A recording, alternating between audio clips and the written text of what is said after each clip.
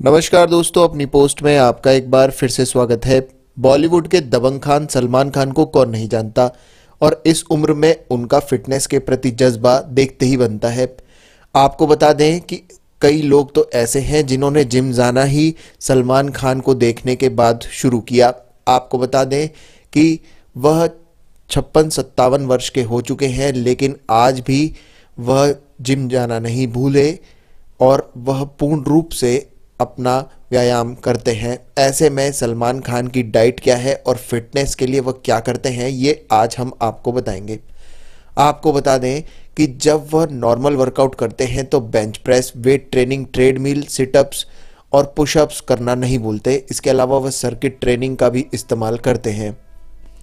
लेकिन ऐसा नहीं है कि वह अपने शरीर को आराम नहीं देते। आपको बता दें कि सलमान खान हफ़्ते में एक या दो दिन आराम भी करते हैं, जिसकी वजह से उनका शरीर फ्लेक्सिबल रहता है।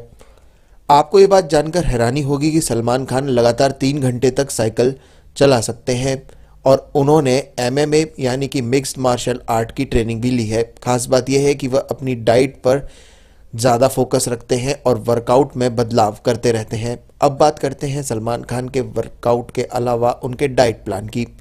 आपको बता दें कि सलमान खान इस बात को खुद कन्फेस कर चुके हैं कि वह देशी खानों और इटालियन व्यंजन खाना पसंद करते हैं और इन्हें वह भरपेट खाते हैं।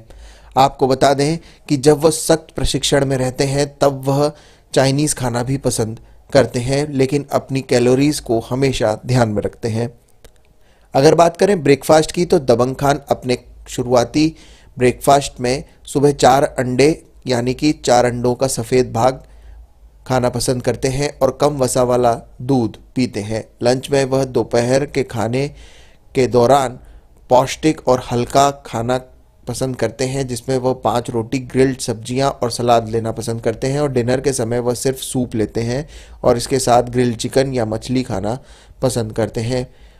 और इसी के दौरान वह नट्स भी खाना पसंद करते हैं, जिसकी वजह से उनकी प्रोटीन की मात्रा बनी रहती है। वर्कआउट में और डाइट में उनका काफ़ी नियंत्रण है, जिसकी वजह से आज की समय में वह पूर्ण रूप से फिट हैं।